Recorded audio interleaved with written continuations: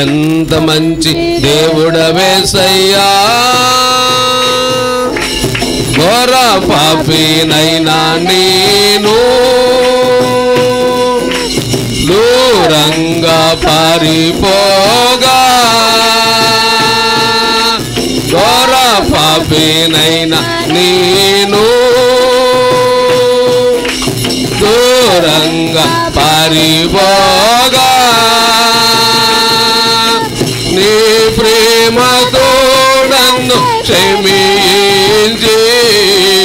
నన్ను హత్తుకొన్నవయ్యా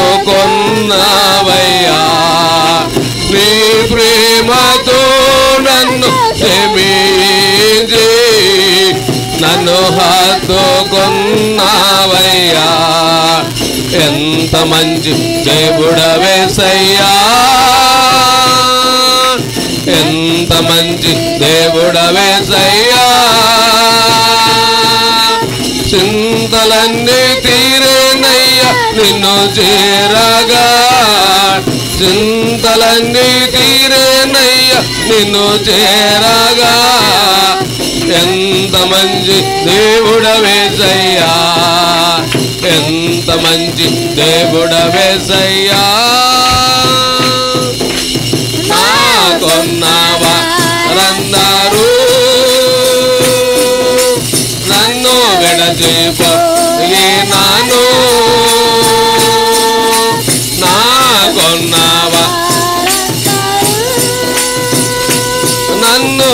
విడచిపోయి ఎన్నెన్నో ఇబ్బందులకు గురి చేసినను. నన్ను విడవలేదేసయ్యా ఎన్నెన్నో ఇబ్బందులకు గురి చేసినను. నన్ను విడవలేదేసయ్యా ఎంత మంచి దేవుడవేసయ్యా ఎంత మంచి దేవుడవేసయ్యా చింతలన్నీ తీరేనయ్యా నిన్ను చేరగా. చింతలన్నీ తీరేనయ్యా నిన్ను చేరగా. ఎంత మంచి దేవుడవేసయ్యా ఎంత మంచి దేవుడవేసయ్యా నీవు లేకుండా నేను ఈ లోకంలో బ్రతకాలే. యా! నీవు లేకుండా నేను ఈ లోకములో బ్రతకాలేనయ్యా. నా దేవా ఎప్పుడైనా నన్ను విడాదివా నన్ను విడవాలి దేశయ్యా నా దేవా ఎప్పుడైనా నన్ను విడాదివా నన్ను విడవాలి దేశయ్యా ఎంత మంచి దేవుడవేసయ్యా ఎంత మంచి దేవుడవేసయ్యా చింతలన్నీ తీరేనై ప్రభుని స్థుతించండి. చప్పట్లు కొడుతూ ప్రభుని కనపరచండి. ప్రతి ఒక్కరు నోరు తెరిచి ప్రభుని స్థుతించండి. మంచి దేవుడ వేసయ్యా ఎంత మంచి దేవుడవేసయ్యా దేవుని మహాకృపను బట్టి మరొక పర్యాయము. మరి దేవుని వాక్యాన్ని మరి యొక్క ప్రార్థన టీవీ ద్వారా దేవుడు అందించడానికి దేవుడు ఇచ్చిన మహా గొప్ప భాగ్యాన్ని బట్టి మరొకసారి మీ అందరికీ అలాగే దేవునికి మహిమ కలుగునుగాక. హలీలుయ పరిశుద్ధ గ్రంథంలోంచి కొన్ని మాటలు ధ్యానం చేసుకుందాం. నిర్గమాకాండము మూడవ అధ్యాయము పదవ వచనాన్ని చదువుకుందాం. నిర్గమాకాండము మూడవ అధ్యాయము పదవ వచనం. కాగా రమ్ము నిన్ను పరో యుద్ధకు పంపెదను. ఇజ్రాయేలీలైన నా ప్రజలను నీవు ఐగుప్తులో నుండి తోడుకొని పోవలనని అనెను.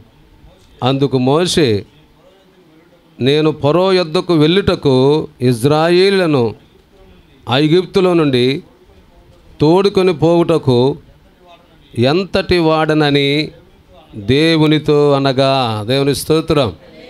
ఇక్కడ మనం చదివిన లేఖన భాగం మనం ధ్యానం చేస్తే గత వారంలో మరి దేవుడు మోషేని ఎన్నుకొని మోషే పెద్దవాడైన తర్వాత ఐగుప్తు దేశంలో మరి ఇజ్రాయేల్ ప్రజలు పడుతున్న బాధను చూచినప్పుడు ఐగుప్తుని చంపి అతని ఇసుకలో పాతి పెట్టెను. తర్వాత అతడు ఆత్మీయంగా బలపడినట్లుగా మనం కొన్ని విషయాలు ధ్యానం చేసుకుందాం. ఇప్పుడు పరో దగ్గరికి నేను పంపిస్తాను అంటున్నాడు దేవుడు అని ఓహో ఆ మోషేని. దేవుని స్తోత్ర. ఇక్కడ దేవుని ప్రజలు ఎక్కడ ఉన్నారు? పరో చేతిలో ఉన్నారు. పరో చేతిలో ఉన్నారు. పరో అనగా సాతానికి సాదృశ్యం. ఎక్కడ ఉన్నారు ఇజ్రాయెల్ ప్రజలు? సాతాను చేతిలో ఉన్నారు. కాబట్టి ఇప్పుడు నీవు పరో దగ్గరికి నేను పంపిస్తా. అక్కడ పరో చేతిలో ఉన్నారు నా ప్రజలైన ఇజ్రాయెల్ ప్రజలందరినీ కూడా నీవు వారిని విడిపించుకొని తీసుకురావాలని మోషేతో దేవుడు చెప్పాడు. దేవుని స్తోత్రం. ఈరోజు మన జీవితాల్లో మనం ధ్యానం చేసినట్లయితే పరో చేతిలో ఉన్నటువంటి తన బిడ్డలైనటువంటి ఇజ్రాయెల్ ప్రజలందరూ కూడా విడిపించి రావాలంటే మోషే అంటాడు పరో దగ్గరికి వెళ్తానికి పరో దగ్గర నుండి తన ప్రజలను ఇజ్రాయెల్ ప్రజలను తీసుకురావడానికి నేను ఎంతటి వాడను? అంటున్నాడు. మోషే తన శరీరంలో పాపాన్ని చంపగలిగాడు కాబట్టి నీవు పరోని ఎదిరించగలిగే శక్తి నీకుంది. ఒక వ్యక్తిలో పాపాన్ని సంహరించగలిగితే ఆ వ్యక్తిలో దేవుని ఆత్మ ఉంటుంది దేవుడు ఆ బిడ్డకి తోడుగా ఉంటాడు.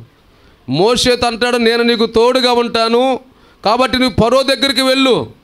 బైబిల్ అందులో యాకోబు రాసిన పత్రిక నాలుగవ అధ్యాయము ఏడవ వచ్చిన ఒకసారి చదువుకుందాం.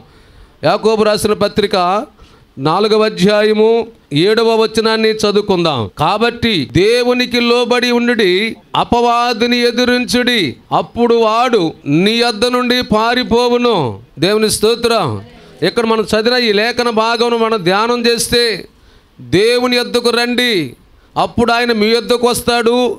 దేవునికి లోబడండి అపవాదిని ఎదిరించండి. అంటే ఇక్కడ మోషే దేవునికి లోబడ్డాడు అందుకనే శరీరాన్ని చంపాడు.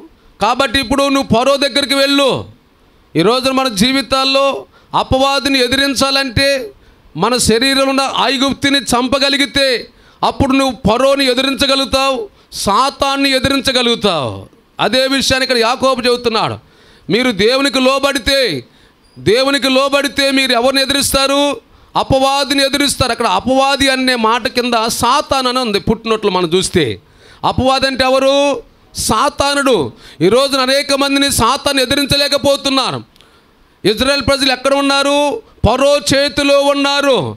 ఈ రోజున చాలామంది జీవితాల్లో అయ్యా నా భర్త త్రాగుడికి బానిసలైపోయారు. అయ్యో నా భర్త శరీర పాపానికి బానిసలైపోయాడు. అంటే సాతాను చేతిలో బంధించబడిపోయాడు. అనేక మంది ఈ రోజున సాతాను చేతిలో బంధించబడిపోయారు. అలాంటి వారు సాతాను చేతులు బంధించబడిపోతే ఈ రోజున పరోతో పరో దగ్గరికి నేను పంపిస్తా. నువ్వు పరోని ఎదిరించి పరో చేతిలో ఉన్న ఇజ్రాయెల్ ప్రజలందరినీ కూడా నువ్వు తీసుకురావాలని చెప్పి మోషేని దేవుడు ఎన్నుకున్నాడు. దేవుని స్తోత్రం. దీనిలో ఉన్న భావం ఏంటంటే నీ జీవితంలో నా జీవితంలో మన శరీరంలో ఉన్న పాపాన్ని చంపగలిగితే అప్పుడు నీ వెళ్ళి పరోని ఎదిరించగలుగుతా. ఈ రోజున కుటుంబాలు కుటుంబాలు సాతాను చేతులు బంధించబడిపోయినాయి. చిన్న పెద్ద తేడా లేకోకుండా ప్రతి ఒక్కరిని కూడా సాతాను బంధించేసింది. ఇప్పుడు బంధించబడినటువంటి వారిని చూసి నీవు నేను ఏం చేస్తున్నామంటే బాధపడుతూ ఉన్నాం కానీ మనలో ఉన్న పాపాన్ని చంపి మనలో ఉన్న పాపాన్ని జయించి అప్పుడు నీవు ఆ పరో అనే సాతాన్ దగ్గరికి వెళ్ళి వాడిని ఎదిరించి ఎంతమంది అయితే నీ కుటుంబం ఉన్నారో ఎంతమంది అయితే నీ బంధువులు ఉన్నారో ఎంతమంది అయితే నీ రక్త సంబంధికులు సాతాను చేతు బంధించబడిపోయారో వారందరి కూడా నీవు విడిపించగలగాలి. దేవుని స్తోత్ర. పరో దగ్గరికి నేను పంపిస్తారు రమ్ము అంటున్నాడు. అంటే పరో అంటే ఎవరు? సాతానుడు. ఇజ్రాయెల్ ప్రజలందరూ కూడా ఎక్కడున్నారు ఇప్పుడు? సాతాను చేతిలో బందీలైపోయాడు. అందుకనే నువ్వు వెళ్ళు నేను నిన్ను పంపిస్తున్నాను అని చెప్పి మోసేతో మాట్లాడుతున్నా. ఈ రోజున నిజమే. ఏమండి? మా బిడ్డలు పాపంలో ఉన్నారండి శాపంలో ఉన్నారండి వారు కొట్టుమిట్లాడిపోతున్నారండి. అయినా వారు చూస్తానే వారిని చూస్తానే ఉన్నాం కానీ వారిని ఏం చేయలేకపోతున్నాము? విడిపించలేకపోతున్నాం. విడిపించలేకపోవడానికి కారణం ఏంటి? మనం కూడా పాపంలో ఉన్నాం అనుకోండి బలహీనంగా ఉంటాం. అప్పుడు వారిని ఎదిరించలేము. అందుకనే పాపం ఉన్నవాడు పాపానికి దాసుడైపోతాడు. పాపానికి దాసులైపోయినప్పుడు ఎలా ఎదిరించగలుగుతారు వాడిని? యేసు ప్రభు చెప్పారు ఒక మాట ఎవరైతే పాపానికి దాసులుగా ఉంటాడో ఎవరైతే పాపం చేస్తారో వాడు పాపానికి దాసులు. దాసులు ఎప్పుడు కూడా యజమాని ఎదిరించలేడు. దాసుడు ఎప్పుడు కూడా యజమాని ఎదిరించలేడు. ఇక్కడ మోషి అని అంటున్నాడు నువ్వు వెళ్ళు నేను నిన్ను పంపిస్తున్నాను. అక్కడ పరోని ఎదిరించు. దేవుని స్తోత్రం.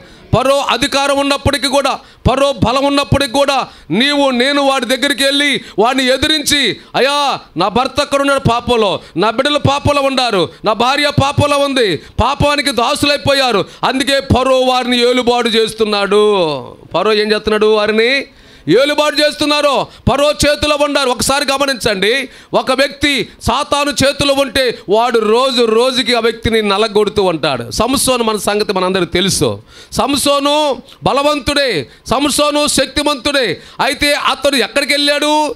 ఢిల్లీలా చేతిలోకి వెళ్ళిపోయాడు. ఎక్కడికి వెళ్ళాడు? ఢిల్లీలో చేతులకి వెళ్ళిపోతే ఢిల్లీలో ఏం చేస్తుంది? రోజు రోజుకి అతను దిగజారుస్తుంది. రోజు రోజుకి అతన్ని పతన వ్యవస్థలోకి తీసుకెళ్ళిపోతుంది.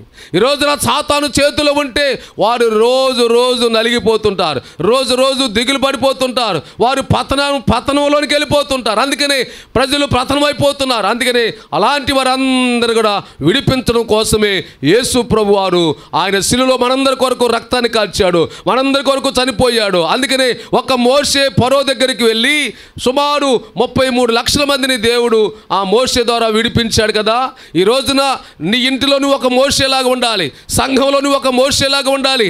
నీవు మోసేలాగా ఉంటే నీవు కూడా ప్రతిరోజు కూడా పరో దగ్గరికి వెళ్ళి పరోని ఎదిరించి ఎంతమంది అయితే నీ కుటుంబంలో సాతాను చేతులు బంధించబడిపోయారో దొంగ జగట గల దొంగ ఊపిలో బంధించబడిపోయారు వారందరూ కూడా నీవు విడిపించాలి. దేవుని స్తోత్రం. చాలామంది బంధించబడిపోయినా విడిపించలేక శక్తి లేక అలాగే చూస్తూ ఉంటారు. అలాంటి వారి జీవితంలో సంతోషం ఉండదు క్షేమం ఉండదు. సాతాను చేతులు ఉంటే అది మనకు ఆశీర్వాదమా? కాదు. సాతాను చేతులు ఉంటే అది మనకు మేలా? ఆ కాదు.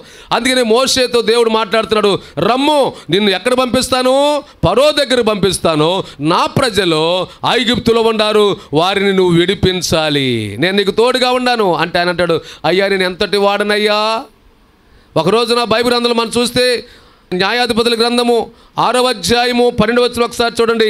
న్యాయాధిపతుల గ్రంథము ఆరవ అధ్యాయము పన్నెండవ వచ్చినాన్ని ఒకసారి చదువుకుందాం.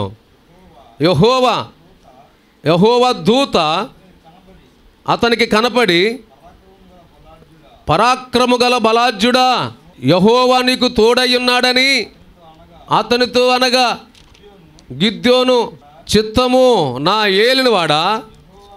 యహోవా మాకు తోడయిండిన ఎడల ఇదంతయు మాకేలా సంభవించను. ఇక్కడ గిద్యోనుతో దేవుడు మాట్లాడుతున్నాడు. పరాక్రము గల బలాజ్యుడా పదకొండు వచ్చిన కూడా ఒకసారి చదవండి పదకొండు వచ్చును. యహోవా దూత వచ్చి అభియజ్రుడైన యావాబునకు యావాషునకు కలిగిన ఓప్రాలోని మస్తకి వృక్షము క్రింద కూర్చొని ఉండెను.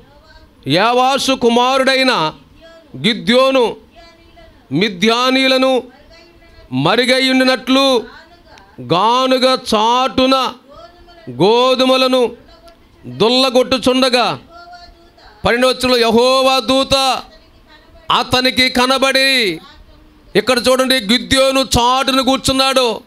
ఇజ్రాయెల్ ప్రజలందరూ కూడా మిథ్యాను చేతిలో బంధించబడిపోయారు. ఇజ్రాయెల్ ప్రజలందరూ కూడా మిథ్యాను చేతిలో బంధించబడిపోయాడు. గిద్యోను దేవుడు వాడుకోవాలనుకున్నాడు. గిద్యోను బలవంతుడే. ఎప్పుడు బలవంతుడండి? ఒక వ్యక్తిలో పాపం లేనప్పుడు ఒక వ్యక్తి పాపానికి దాసులుగా లేనప్పుడే బలవంతుడు. దేవుని స్తోత్రం. నీ బలం ఎంతో నీకు తెలుసు. యేసు క్రీస్తు రక్తంలో నువ్వు కడగబడ్డావు. నువ్వు సామాన్యుడు కాదు. నువ్వు ఒక బలవంతుడు అన్న సంగతి నువ్వు గ్రహం గ- గమనించాలి. దేవుని స్తోత్ర. ఏసు రక్తంలోనూ కడగబడ్డావు ఏసు రక్తం నీలో ప్రవహిస్తుంది. దేవుని ఆత్మ నీలో ఉంది. అయినప్పుడు కూడా నువ్వు అనుకుంటావు నేనే పార్టీ వాడినండి నా వల్ల ఇద్దంటావా నా శక్తి సరిపోద్ది అనుకుంటావా? అని అనుకుంటామంటారు. గిద్దెను కూడా అలాగే ఎక్కడంట? గానుగ చాటున గోధుమలు దొల్లగొట్టుకుంటామని నాకెందుకులేండి? దేవుని దూత యుద్ధంతో మాట్లాడుతున్నాడు. మోషేతో దేవుడు మాట్లాడుతున్నాడు. ఎందుకు తెలుసా? మోషే నీవు నీ శరీరంలో ఐగుప్తుని చంపావు. నీవు దేవుని ఆత్మ కలిగి ఉన్నావు. దేవుని బలం కలిగి ఉన్నావు. నీవు మాత్రం పరో దగ్గరికి వెళ్ళగలవు. పరోని ఎదిరించగలవు. పరో చేతిలో ఉన్న ప్రతి బంధకాల్లో ఉన్న ప్రతి ఒక్క ఇజ్రాయెల్ని నీవు విడిపించగల శక్తి నీకుందని చెప్పి దేవుని శక్తి మోషేలో ఉంది. మోషేకి అర్థం కావట్లే ఈ రోజున. దేవుని స్తోత్ర.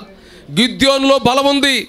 గిద్యోను బలవంతుడు గిద్యోను శక్తిమంతుడు. మిద్యానీయుల చేతిలో నుంచి ఇజ్రాయెల్ ప్రజల్ని విడిపించగల శక్తి గిద్యోనుకు ఉంది కానీ గిద్యోను అంటాడు నేనే పార్టీ వాడినండి నాకు బలం లేదండి నాకు శక్తి లేదండి. కొన్ని కొన్నిసార్లు నీకున్న శక్తి నీకు అర్థం కాదు నీకున్న బలం నీకు అర్థం కాదు. అందుకని దేవుడు కొన్ని కొన్నిసార్లు దేవుడు నీతో మాట్లాడుతున్నాడు. ఈ రోజున నీలో ఉన్న పాపాన్ని జయించావు. ఏసు రక్తం నీలో ఉంది. కాబట్టి నువ్వు బలవంతుడువు. నీవు సాతాన్ని ఎదిరించగలవు. నువ్వు సాతాన్ని ఎదిరించ శక్తి నీలో ఉంది. అదే నువ్వు గమనించాలి. దేవుని స్తోత్ర. చేయగలిగిన శక్తి నీలో ఉండి కూడా కొంతమంది ఆ బలాన్ని చూడలేరు శక్తిని చూడలేరు. నా వల్ల కాదండి నా వల్ల కాదండి అని చెప్పి ఎంతసేపటికి తప్పుకుంటారు. కానీ యేసు ప్రభు వారు నీతో మాట్లాడుతున్న మాట నీవు బలవంతుడవు. ఎందుకు బలవంతుడు అంటే యేసు నీలో ఉన్నాడు. పాపాన్ని జయించావు పాపాన్ని విడిచిపెట్టావు కాబట్టి నీలోకి యేసు వచ్చాడు. నువ్వు బలవంతుడివి. దేవుని స్తోత్ర. పన్నెండు వచ్చిన మరొకసారి పన్నెండు వచ్చును యహోవా దూత అతనికి కనపడి పరాక్రము గల బలాజ్యుడా యహోవా నీకు తోడై ఉన్నాడని అతనితో అనగా దేవుని స్తోత్ర. ఇక్కడ గోధుమలు ఏం చేస్తున్నాడంట? దూల కొట్టుకున్నాడు గానుగు చాటున ఉన్నాడు. దేవదూత చూసి అంటది పరాక్రము గల బలాజ్యుడా నువ్వు బలవంతుడవు. నీవు ఇప్పుడు మిథ్యాని చేతిలో ఇజ్రాయెల్ ప్రజలు ఉన్నారు వారిని విడిపించు. నువ్వు పద అని చెప్పానంటే గిద్యోని అంటాడు అంత బలమే కనుక ఉంటే మిథ్యానీల చేతులు మేము ఎందుకు బందీలైపోతామండి వాళ్ళ చేతులు మేము బంధించబడిపోయాము అందరూ బంధకాల్లో ఉండిపోయారు వారిని ఎదిరించే మాకు శక్తి లేదు అని చెప్పి అతడు చెబుతుంటే ఆ దూత చెబుతా ఉన్నమాట ఐగుప్తులోంచి విడిపించిన దేవుడు గొప్పవాడు. నీ జీవితంలో ఎన్నో అద్భుతాలు చేశాడు. ఒకప్పుడు ఎన్నో నీ జీవితంలో కార్యాలు చూసావు అప్పుడు నువ్వు బలవంతుడిగా ఉన్నావు. కొన్ని పరిస్థితులు బట్టి నువ్వు బలహీనమైపోయి ఉంటావు.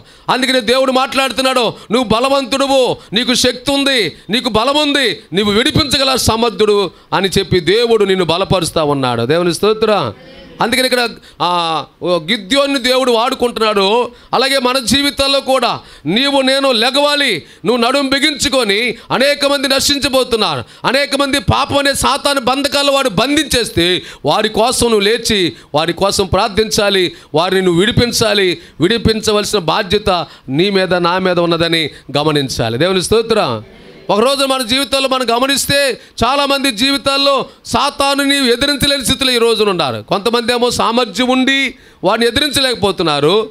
అయితే దేవుడు చెబుతున్నాడు నువ్వు ఎంతటి వాడు అని అనుకోవద్దు. లే నేను నీకు తోడుగా ఉన్నానని చెప్పి మోషేతో మాట్లాడుతున్నాడు. ఇప్పుడు మోషే పరో ఎదుటికెళ్ళి నిలబడి పరోతో మాట్లాడే అంత పరిస్థితి దేవుడు మోషేకి తీసుకొచ్చాడు. కారణం ఏంటంటే పరో తన శరీరంలో పాపాన్ని చంపగలిగాడు. దేవుని స్తోత్ర.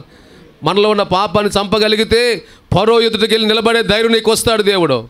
రాజులు ఎదురు నిలబడే ధైర్యం నీకు ఇస్తాడు దేవుడు. అప్పుడు వారిని ఎదిరించగలుగుతావు. ఎదిరించి నీ అన్నవారిని ప్రభువులోనికి నువ్వు నడిపించగలుగుతావు. అందుకని ప్రతిరోజు కూడా నీవు నేను దేవుని స్థుతించి బలం పొందుకొని సాతాను ఎదిరించి సాతాను చేతిలో ఉన్న వారిని నీ విడిపించి ప్రభు దగ్గరికి తీసుకురావాలి. ఒక రోజున దావీదు జీవితంలో తన గొర్రెల్లో ఒక గొర్రెని సింహము తన నోట్లో పెట్టుకొని అది పరిగెత్తుతూ ఉంది. దేవుని స్తోత్ర. సింహము ఒక గొర్రెను తన నోట్లో పెట్టుకొని పరిగెత్తుతూ ఉంది. పరిగెత్తుతా ఉంటే దావీదు చూస్తా ఊరుకున్నాడా? దావీదు చూస్తా ఊరుకోలేదు. దావీదు ఏం చేస్తే తెలుసా? ఆ సింహం పరిగెత్తుతా ఉంటే సింహంతో పాటు పరిగెత్తుతున్నాడు. దేవుని స్తోత్రం.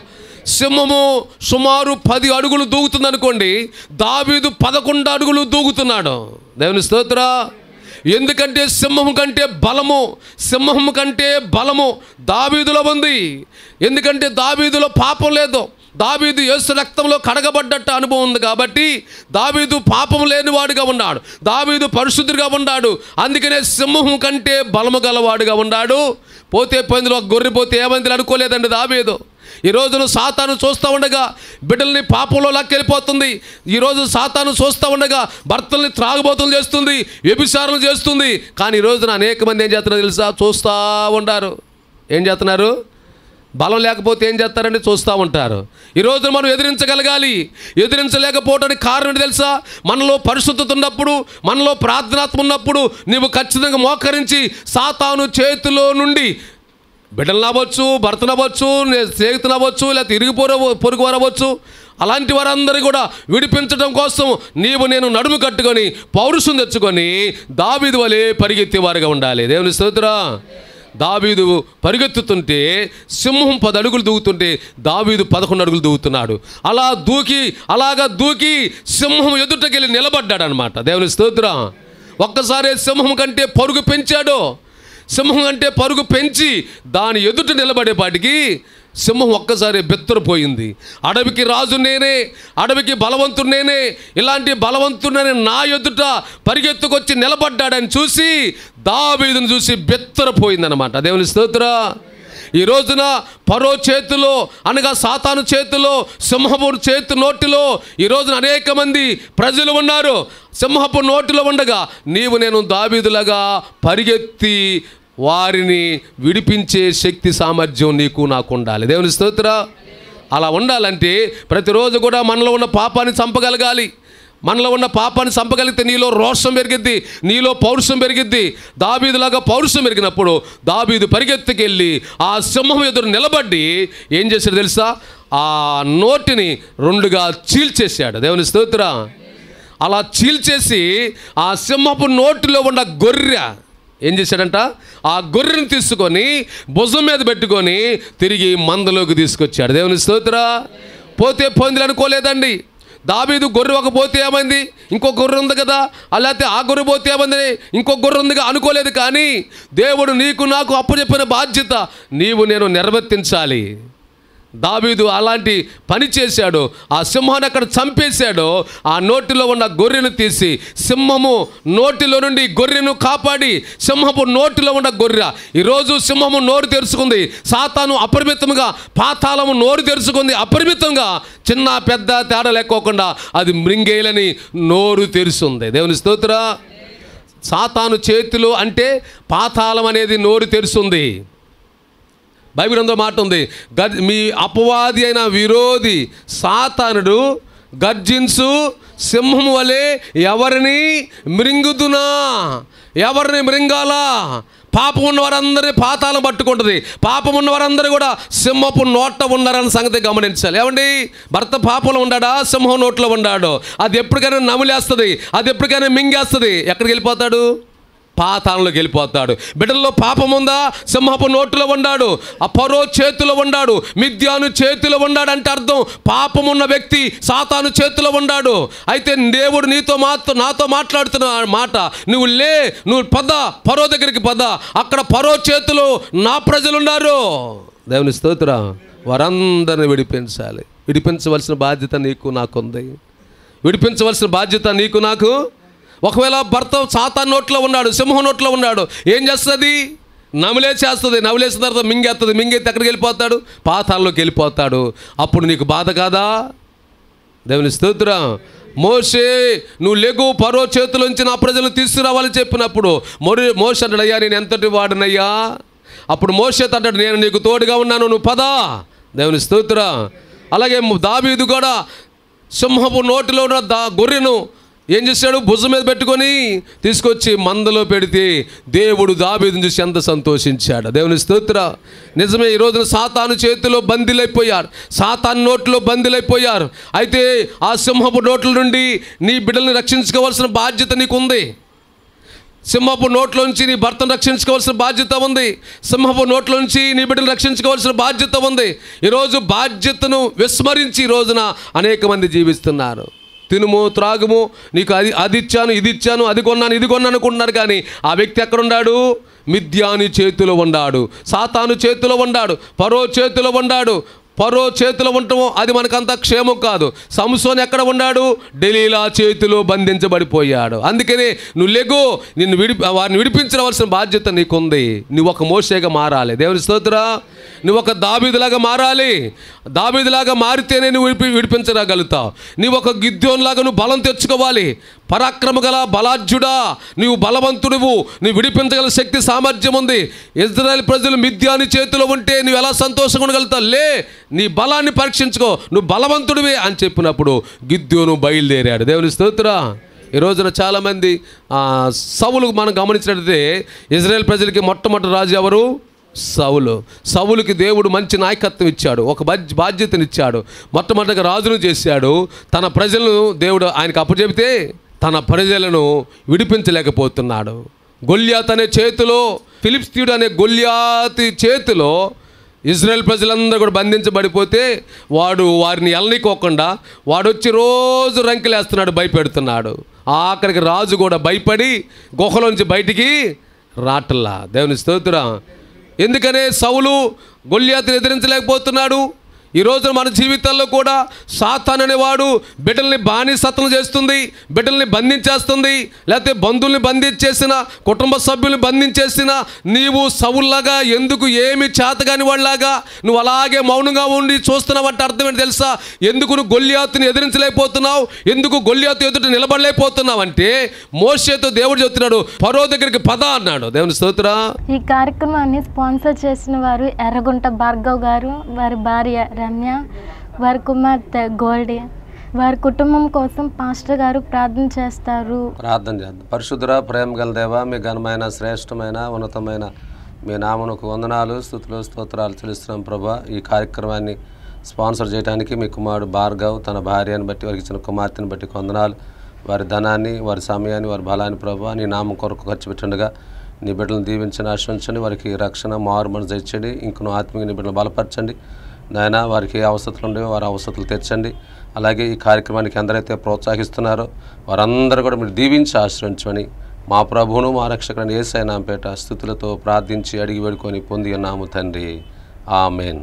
మా ఆరాధన కార్యక్రమంలో ప్రతి ఆదివారం ఉదయం పది గంటల ముప్పై నిమిషాలకు జరుగును. ప్రతి బుధవారం రాత్రి ఏడు గంటల ముప్పై నిమిషాలకు జరుగును. ప్రతి శుక్రవారం రాత్రి ఏడు గంటల ముప్పై నిమిషాలకు జరుగును. ప్రతి శనివారం రాత్రి ఏడు గంటల ముప్పై నిమిషాలకు సిద్ధపాటు ఆరాధన జరుగును. ప్రతి నెల మొదటి ఆదివారం బల్లారాధన జరుగును. ప్రతిరోజు ఉదయం ఐదు గంటల నుండి ఆరు గంటల వరకు స్థుతి ఆరాధన జరుగును.